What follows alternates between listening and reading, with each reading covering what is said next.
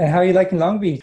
I like Long Beach. Yeah. I like, I mean, that's Los Angeles County. I actually live in Orange County, but I, we're on the beach. I mean, Yeah, you can't get much better than that. that's true. That's, so you so your field brought you there, right?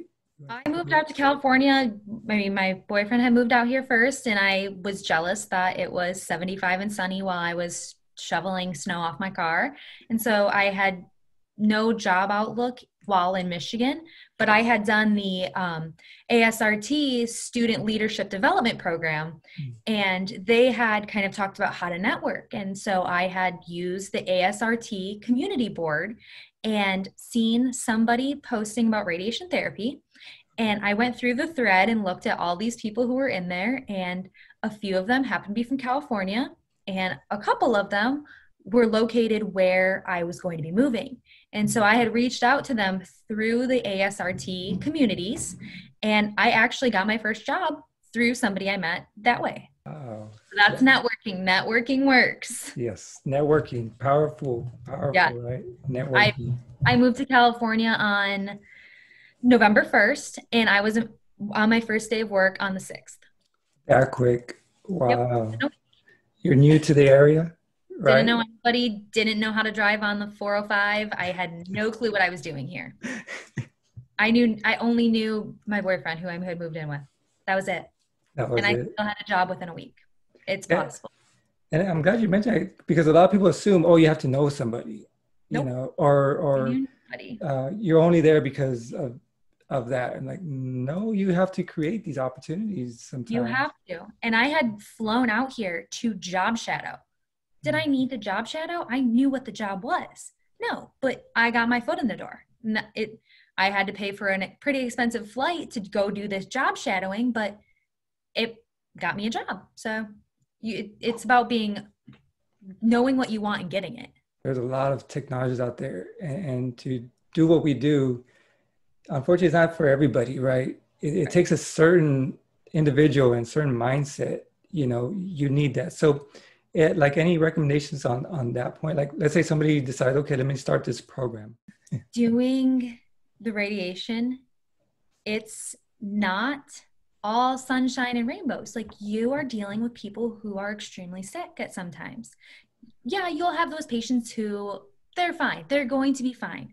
But you have patients who are terminally ill. And it is not meant for everybody. It's not always easy.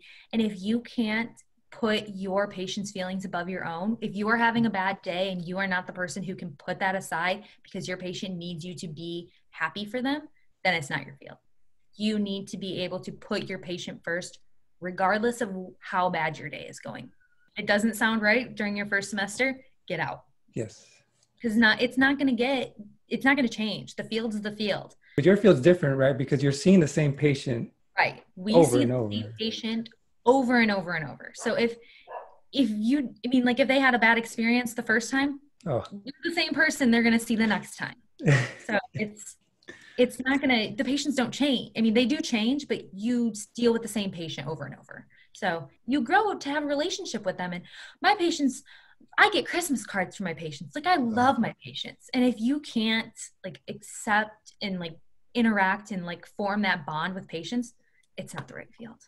Uh, yeah, absolutely. So huge difference there with diagnostic and therapy because Mhm.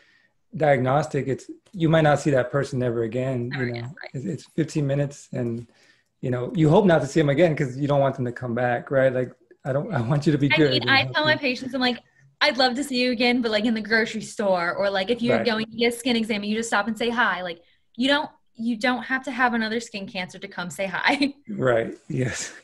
I'm here if you need me, but try not to need me. Your uh, Instagram page is awesome. Um, if anybody wants to connect, um, how how can they connect with Rachel Ward? I am at Rach the RTT.